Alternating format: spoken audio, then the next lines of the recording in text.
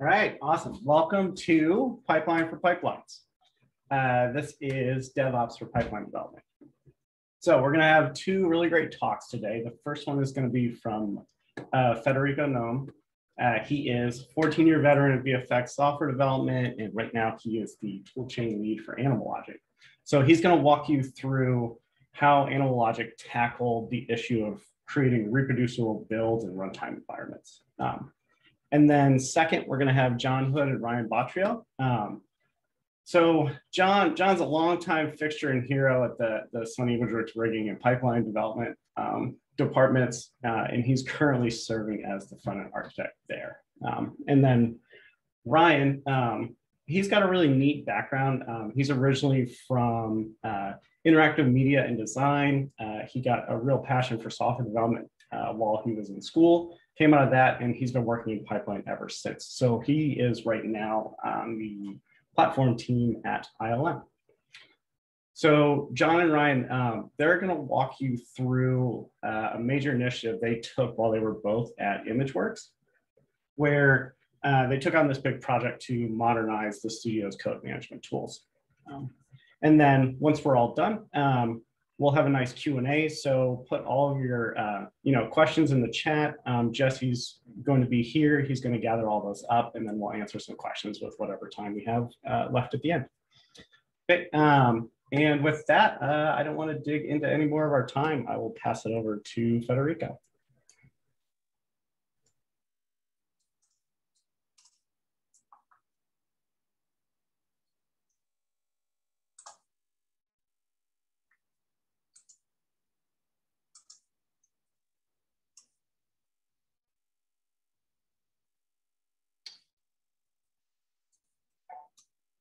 Um, hello, hello everybody. Thank you, Danny, for the introduction.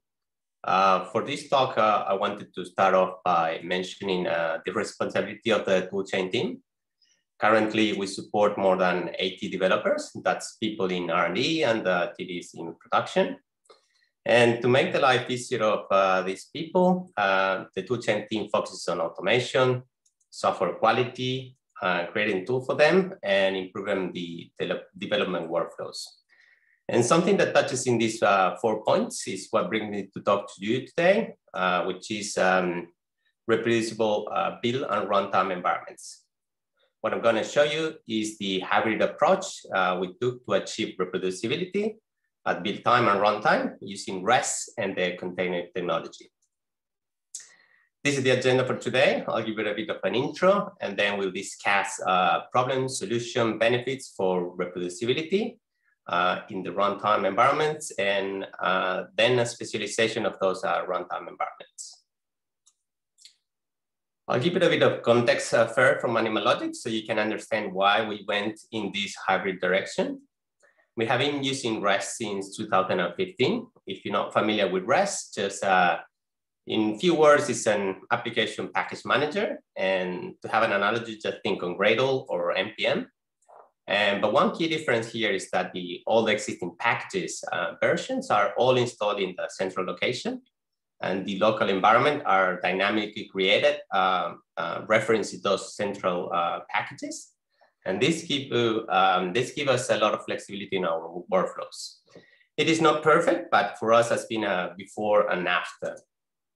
Uh, in order to be agile, uh, we've broken down our software in uh, more than 2,000 uh, Rez packages. That includes uh, our in-house packages and third-party packages.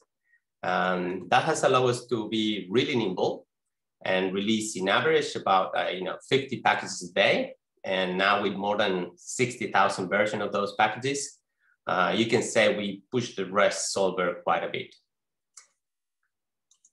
everything at AL is a Rez package. You know, Maya, Nuke, Houdini, uh, and even Rez is packaged and released as a Rez package.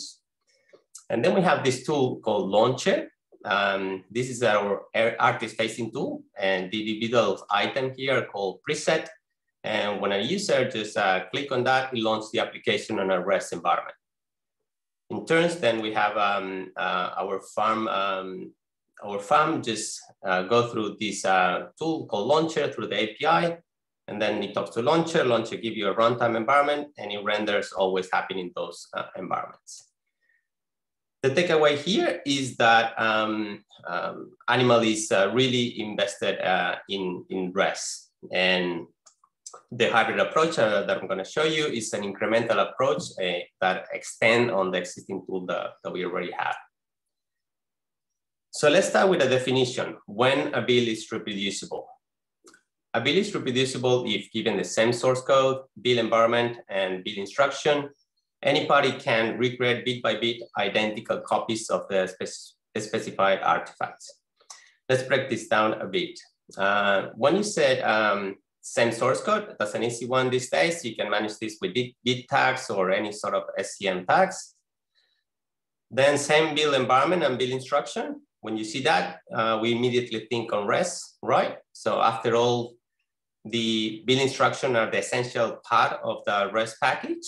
And given the same source of the same Rez request, uh, you know, the is in the package and the timestamp, Rez should give you the same environment every time. So what's the problem? Um, the problem is here, any party.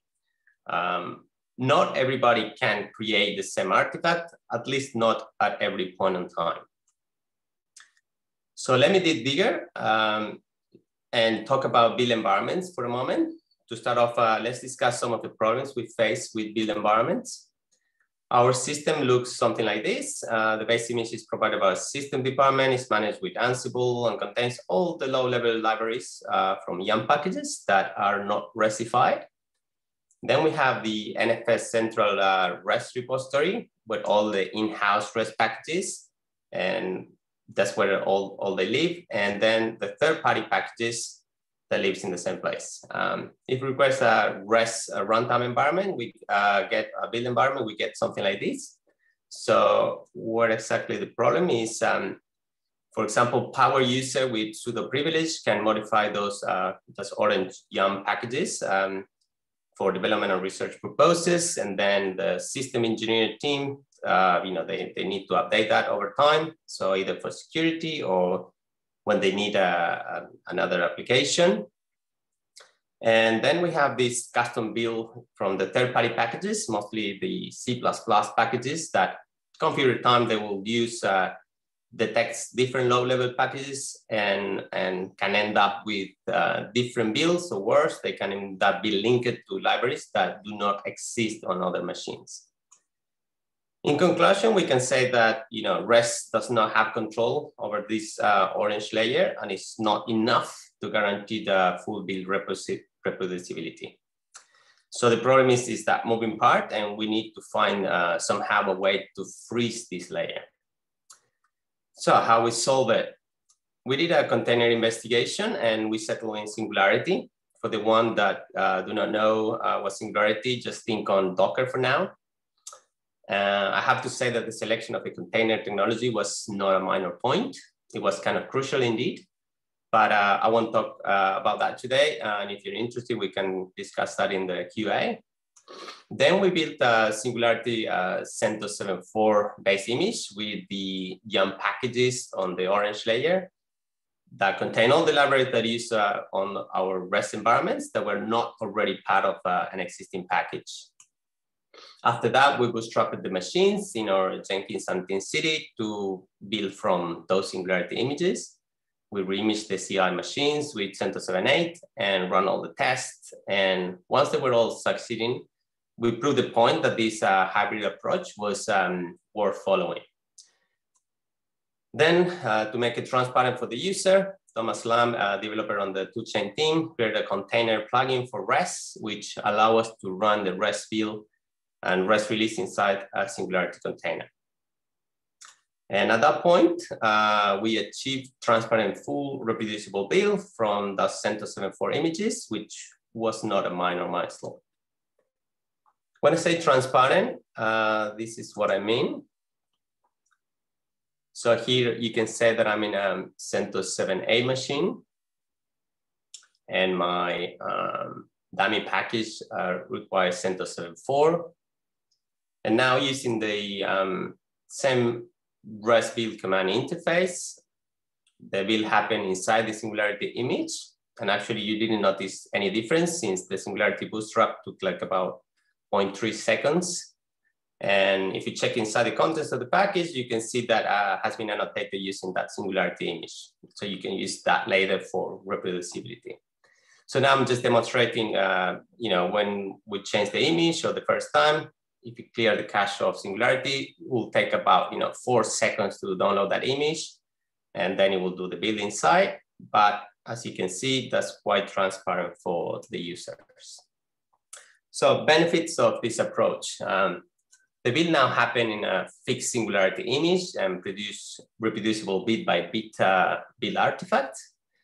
I put a link here for the default benefits of reproducible build that you might know, but on top of that, uh, for us, it has meant that uh, we have full control of the build environment and we are in, independent of the um, system engineer department.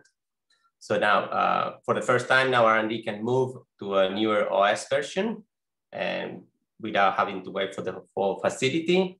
The CI machine are the same as the dev machines. And system, they can, you know, they can upgrade the system without interfering with the builds. And we can also experiment with the NVIDIA drivers now because it's just a mount on the content. So let's move quickly into runtime environment and start again by enumerating some of the common problems uh, with the current Rez runtime environments. Um, this is the famous, uh, it works in my machine, right? Uh, when the target machine environment is different from where we build and test. Uh, next, uh, slow startup runtime. This is all because the Rez packs are pulled from NFS. Another performance implication is the amount of fail file stats caused by tools installing non-default location. I'm pretty sure you, you're most familiar with the problem of the long Python path and LD library path. And lastly, this is not cloud friendly. You know, the cloud OS needs to match the OS. And in our case, every time we spin a machine, we have to run Ansible to make sure we, we're starting from the same uh, starting point. Solution. Well, the next logical step uh, here was to use Singularity at runtime. So that's what we did. We created a Rez version where all the Rez commands, including RESTSEM, run inside the same Singularity image.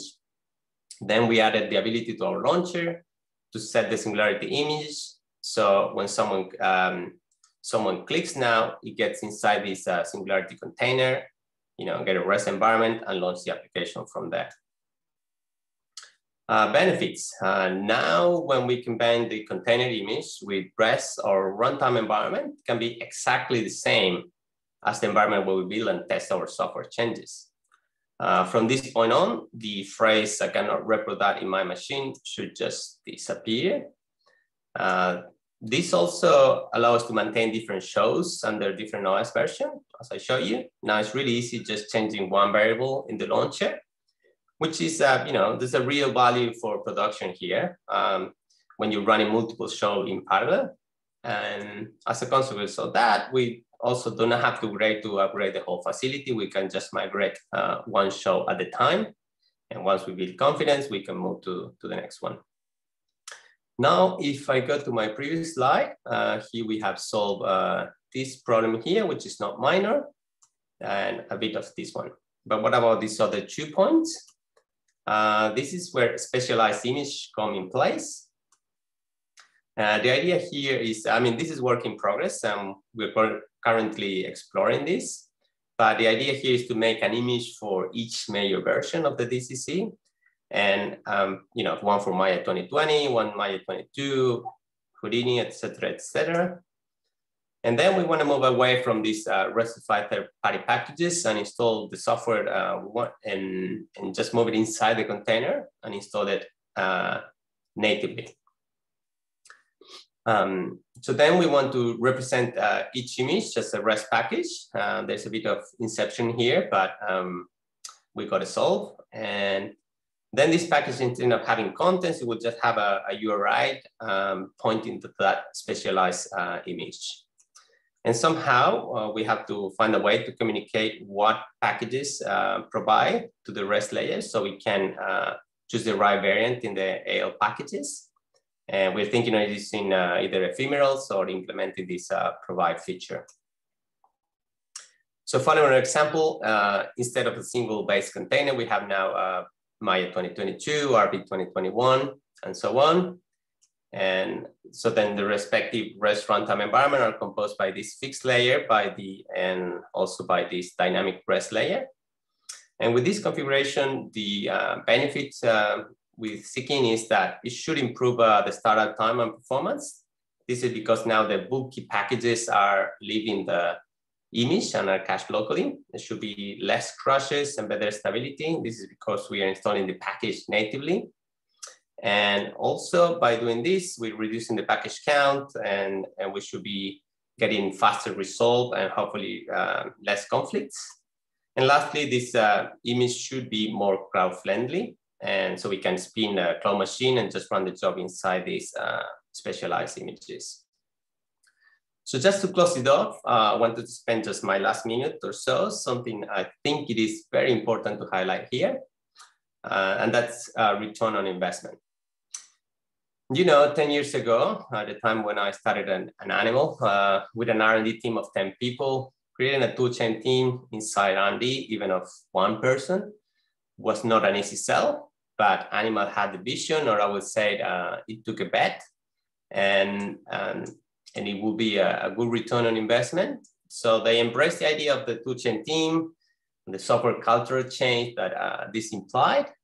And now in hindsight, we can say that the investment has been paying dividends. And I hope I show you in the presentation some of the benefits of reproducible build environments.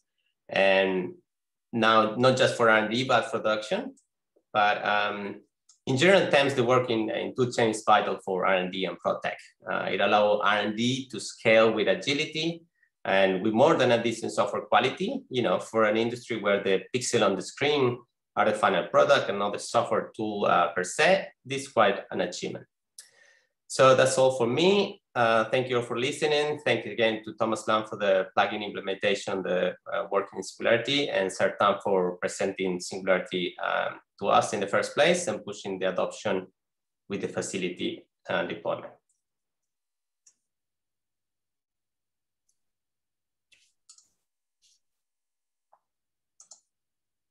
Awesome, man. Thanks, Rodrigo. I can't I can't imagine how many problems that solved. like so many problems. Um, all right, so now we've got um, John and Ryan.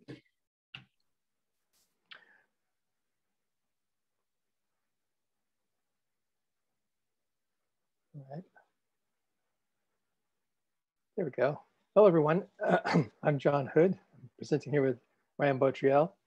Uh, full disclosure, I, I, paid Danny to talk me up and I got my money's worth because really I didn't contribute as much to this project as he might have led you to believe.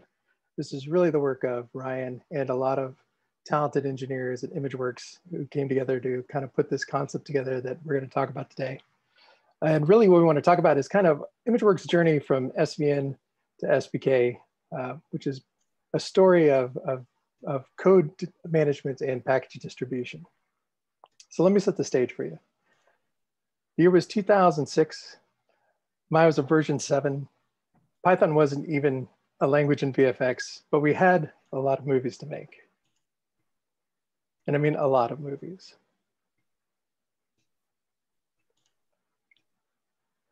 So the problem we had, how do we manage software for a large community of coders with varying degrees of skill? Our solution was SVN, kinda.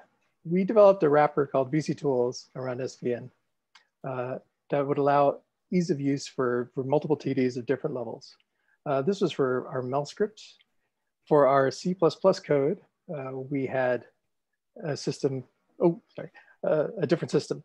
The, the uh, custom wrapper for VC tools allowed simple check-in and check-out, uh, which was a one-step process. Uh, it, the MEL language supported sparse checkouts, so TDs could easily check out just the files they wanted to modify. They could check those in, but checking in would be an actual release. So there was no kind of hold, modify, or code review process.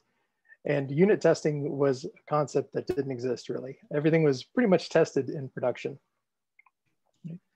For our C++ side, we had a loader that would, based on environment variables, select the correct DCC, uh, SO for DCCs based on compiler and DCC type. So what happened? Well, code became more complex. scripts evolved into libraries, uh, we had no real unit testing, as I mentioned before. Code reviews were difficult. Python was introduced. It had a completely different sourcing mechanism from what Mel was doing, including more involved packages that need to be managed together. Uh, and we had no versioning system really. So there was no way to target packages of Python or really C++ code in ways that we found useful. All of our projects were getting more complicated. Individual films require really specific tweaking of our libraries. What worked? It was a good system in a lot of ways. It was very easy to use. There was no branching concept. The one-step check-in, check-out was very easy for people to, to pick up who weren't super technical. Uh, there was no real version tracking, which kind of made it easy. People would check out files into their dev area, they would test them, uh, and then check them in when they wanted to release. It was easy to develop. Uh, you would launch your DCC, whether it was Maya or Nuke uh, or Houdini even. Uh, you could launch it in dev mode where the Python and Mel lookup paths, whichever one was appropriate, would, would actually pick up the, uh, the files that you were looking for. Uh, and again, with sparse checking out, you only had to modify the files that you were interested in. Also, there was no configuration, so you didn't have to figure out which package or which version of packages were compatible uh, so there were no images to build or virtual environments to set up. So to kind of expand on the ease of use, we came across GitLab, which was a very common uh, tool. It was awesome. Uh, it allowed us to manage larger, more complex packages. It provided for code reviews with the merge request mechanism. And we were able to take advantage of the CI and CD managed unit testing for deployment.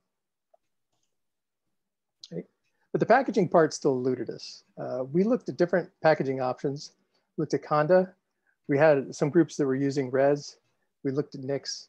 But none of these packages really fit all the things that we wanted to do. So at this point, we figured a rethink was required. And along around this time is where Ryan had come into the picture and he was working with our infra team to figure out what how we could move forward. Thanks, John.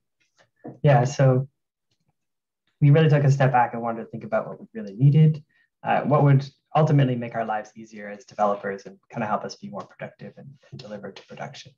So along with this, we came up with some primary goals, what we would like to see in such a system. The first one is this idea of a clean user experience, um, really just making sure that, you know, the kind of the way you want to do it or you feel like you should do it in this system is actually the right way to do it. It's sort of you to do it properly. Um, consistent environments, as much as possible, we wanted to to the, the dev and production environments to be the same. Is, you know, the same thing we've talked about about having it works on my machine. Um, the third one is hackable runtime, um, which is something we are very used to of being able to try things very quickly on the fly, right? With sparse checkouts and only changing one file and seeing how it runs. This is something that's a workflow we wanted to maintain. Uh, the escapable system was another requirement. And um, again, as we thought about adding like versioning and packaging and kind of all of these systems and rules around releasing software, one of the things we also wanted to keep was this ability to kind of go around the system if needed, kind of this dirty fixes or things. Um, you know, if there's a production deadline or something, you don't want uh, all of these additional rules that you put in place to, to, to slow you down or to, to be the problem or reason why something doesn't deliver on time. And lastly, kind of as a more technical requirement is this idea of efficient storage. So we wanted to be able to, you know, look forward into uh, improving our integration with cloud environments and things like that, where sometimes, you know, having one giant NFS mount with all your software at all versions is not necessarily something that's very maintainable. So having this idea of like offlining software, pushing and pulling it uh, between different places uh, was something we wanted the system to support. There's a couple inspirations we took to help drive this project um, mainly Docker and containers and Git. Um, what we're kind of pulling from the, the container world is this idea of runtime predictability. Um, as Fede mentioned, the dev and prod are the same, which is a huge benefit to that. Um, and also this isolation that you get makes it really easy to change things and try things on the fly because you're not affecting other people when you do that. Um, and then Git, uh, Git, we really kind of are pulling this idea of this painless pushing and pulling of files. Um, it's really easy to sync Git changes, uh, you know, between one computer and another. Um, and also it has this uh, idea of local copies. Again, that's just makes it really easy to change things safely. So the result of this whole process is these two pieces of technology, SPFS and SPK. SPFS is kind of a lower level um, piece of software that deals with file system isolation, capture and distribution. I'm going to talk about that one. Um, and SPK is a package manager on top of that system. Again, I'll talk about that one as well. So first up is SPFS. There's three main pieces to this per process, layered file system, shared digest-based storage. I know that's a lot of words, so I will break this down a little bit farther. The first idea here is uh, the idea of the layered file system. And in a normal file system, you have these files that you have uh, in, in, a folder, if you will. Um, and then when you talk about an overlay file system or a layered file system, it's just this idea of taking you know, multiple directories, if you will, and layer them, layering them on top of each other. So if you have a file in both layers, each with the same name, then you only see the one in the, in the top layer. Um, the other benefit that this system has is uh, it has this final layer at the top, which contains any edits that you make to the file system, which just means that the files that you're putting in the lower layers don't can't be affected or can't be changed. So the copy that you have of those lower level files on disk um, can be considered immutable. You don't have to have write access to them to be able to actually make changes or try making changes at runtime. This kind of helps us with some of the sparse override stuff and also a lot of that uh, kind of safety uh, and, and kind of runtime hackability that I was talking about.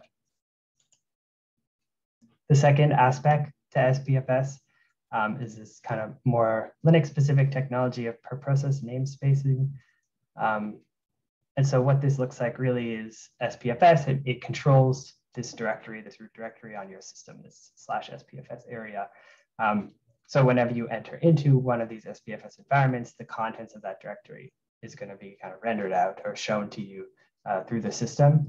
And the key aspect here is that every process that runs on your computer can actually see a different set of files inside that directory. So in this example, I have Houdini running and Maya running separately, and they can both see a separate set of files with separate software, um, the dependencies that they need in the application, and you know, a different set of runtime packages or runtime software. Um, so again, this gives us the isolation and hackability that we wanted. Um, and also giving us consistency of the software is always in the same place, no matter which process you run, even if it's different software each time. And finally, this idea of um, shared digest-based storage. So essentially, uh, SPFS, when you are storing things in the system and you're creating these file system layers, it's actually you know creating a hash for each file. It's tracking it by the content, so it only has to store each unique file exactly once on disk uh, which basically means you know we get some of the efficiencies of our sparse checkouts and things like that, where um, I might have a large Python package. When I make a new version of that package, if I only change one file, then I'm not actually storing a, copy of all of the files in the package. I'm only storing the original version and the one file that changed. Um, so this just makes it quite efficient and it kind of pulls from some of that Git stuff for pushing and pulling files. It knows exactly what it needs to move from one site to another. Um, to make sure that the software is available. So that's SPFS. So on top of it, um, we added this package manager called SPK. SPFS, as you can imagine, it's a fairly kind of low level interface. You're kind of creating layers and layering them on top of each other, but it can become quite um, hectic to try to manage that. So SPK gives a little bit of order. It kind of provides tracking of files and also this idea of compatibility and versioning of software as you kind of would imagine in any package manager. So there's this larger theme to SPK of being able to properly describe compatibility kind of in a useful way and a debuggable way. So we don't always get to choose the way things are versioned, especially when we're dealing with third-party software. So the first thing that SPK provides is the idea of kind of being able to describe on a per package basis what the version number actually represents.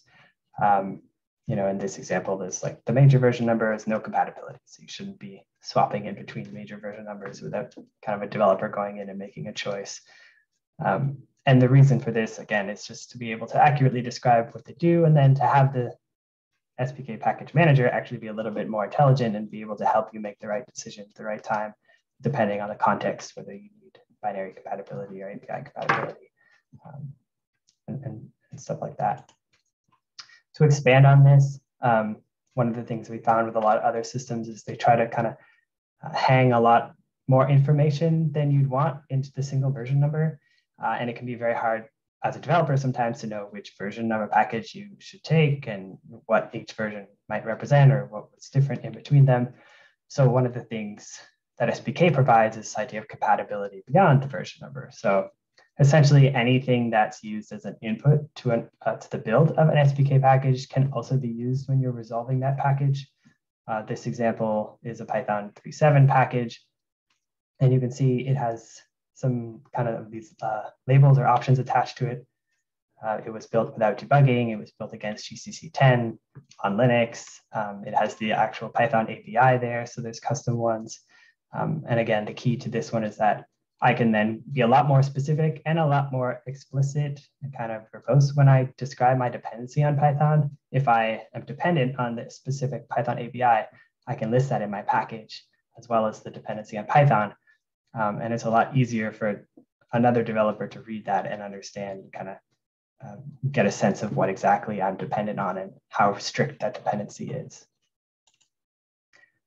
And of course, finally, um, this, because SPK is built on top of SPFS, you kind of get all the benefits that, that I described with SPFS. And the way that looks in practice is that every package that you create is one of these file system layers in SPFS. So your runtime environments um, are equally hackable. You know, you can run an SPK environment, get all the packages you want, and then if you need to, you can go into, you know, the Maya package itself or the Python package itself and change one file somewhere um, just to try something out, and that's totally uh, achievable. Yeah, so that that gives uh, the efficient storage as well, and like the other things I mentioned about SPFS. And that's pretty much it. Um, if you're curious about this or you want to talk about this kind of stuff, we would love to hear from you. Having a lot of conversations about this technology. So uh, yeah, definitely happy to talk about it. And of course, we'd be happy to take any questions, which I think is coming up now. It is. It is. Perfect segue. All right, awesome. Thanks, guys. Um, and then there you go. You can uh, you can come back. Oh yeah, you're right there. Um, Okay, great. We've got just a couple minutes, so I'm going to dive right into questions. Um, this one is kind of for everyone. Um, so, what is the single biggest challenge in transitioning from classical development process to a modern DevOps workflow? Ooh, that's a big one.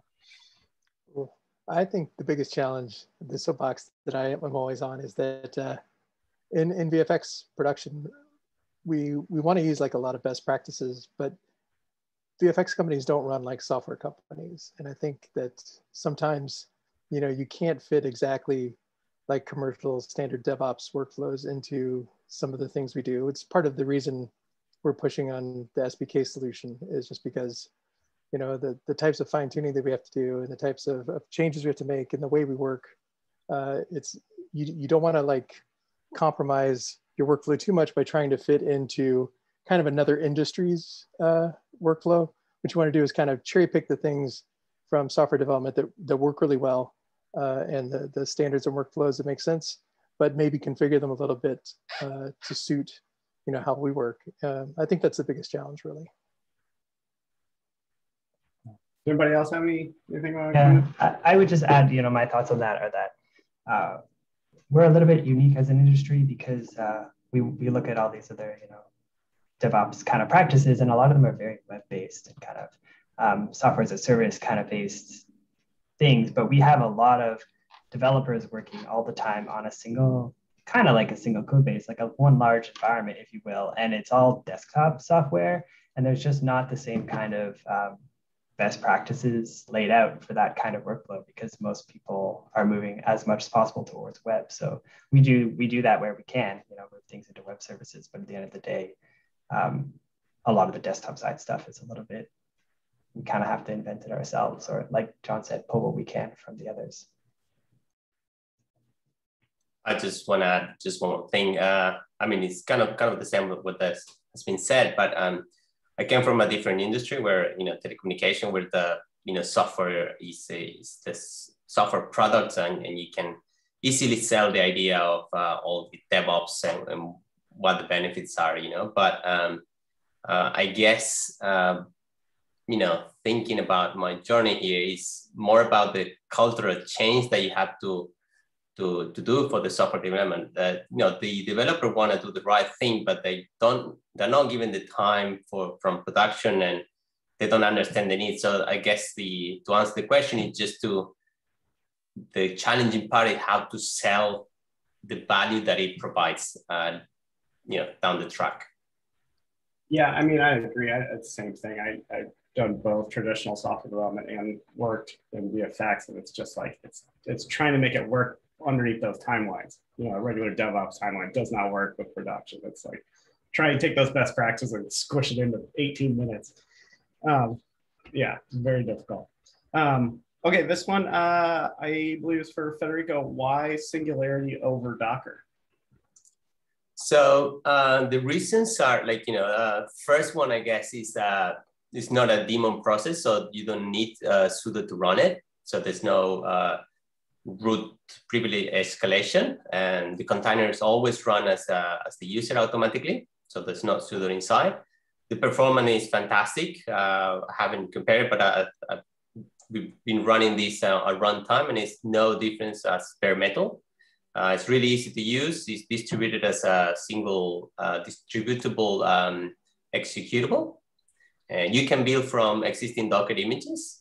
And you know, just the concept uh, has been done to exactly what Ryan said. Like you, you want to just uh, have the right level of isolation. You know, Docker is much more contained, and, and you have to unlock. I'm, I'm, pretty sure that is possible. Uh, we make that plugin general, so you can add a Docker plugin if you wish.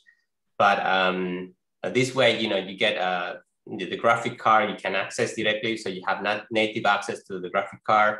I'm pretty sure there are ways around Docker, but uh, this one is uh, feels much more simple. And and if you read uh, exactly, you know, the Singularity vision is, I mean, it, this is a, a, technology that comes from the HPC world. Um, so they want to use the whole the whole system and not just uh, um, you know, microsystem and put a lot of uh, Docker container. It's just one thing that I use all the resources of the machine.